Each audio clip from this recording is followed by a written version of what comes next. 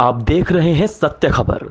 दबाइए ये सब्सक्राइब का बटन और पाइए देश प्रदेश की हर खबर, बीजेपी अध्यक्ष अमित शाह की 15 फरवरी को जींद रैली को लेकर विपक्षियों द्वारा लगातार बयानबाजी की जा रही है।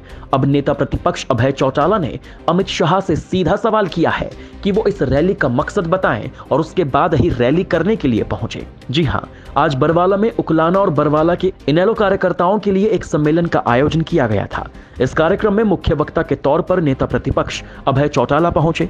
और इसी कार्यक्रम के दौरान अभय चौटाला ने पत्रकारों से बातचीत करते हुए अमित शाह की इस रैली पर निशाना साधा। उन्होंने अमित शाह पर आरोप लगाते हुए कहा कि अमित शाह हरियाणा का माहौल खराब करने के लिए ये रैली कर रहे हैं। अभय चौटाला ने सवाल पूछते हुए कहा कि अमित शाह पहले जनता के सामने इस रैली का मकसद साफ़ करें और उसके बाद ही इस रैली में पहुँचे। अमित शाह यहाँ रैली करने के लिए आ रहे हैं। मकसद बताए रैली का कि किस लिए रैली करने के लिए आए ये रैली करने नहीं आ रहे। ये हमारे प्रदेश का माहौल खराब करने के लिए आ रहे। इसके बाद उन्होंने प्रदेश सरकार पर निशाना साधते हुए कहा कि प्रदेश सरकार लगातार अपराधियों को संरक्षण और सही व्यक्तियों को जेल में डाल रही है जिसके चलते प्रदेश में क्राइम का ग्राफ लगातार बढ़ता जा रहा है।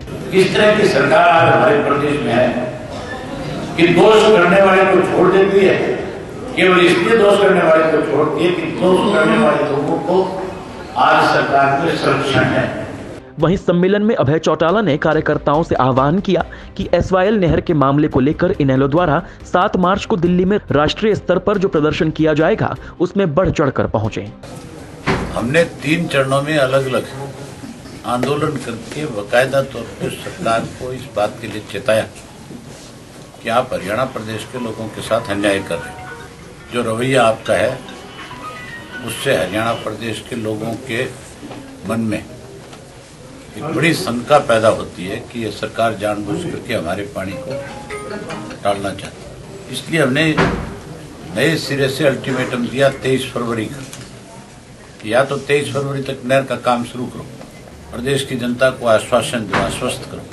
अगर नहीं करोगे तो सात मार्च को दिल्ली में लाखों किसानों को लेकर के जाएँगे और सरकार के खिलाफ एक बड़े आंदोलन का उसी दिन ऐलान करेंगे। वहीं अभय चौटाला ने आज बरवाला में केक काटकर अपना जन्म दिवस भी मनाया। सत्य खबर के लिए बरवाला से संजय की रिपोर्ट। आप देख रहे हैं सत्य खबर। दबाइए ये सब्सक्राइब का बटन और पाइए देश प्रदेश की हर खबर।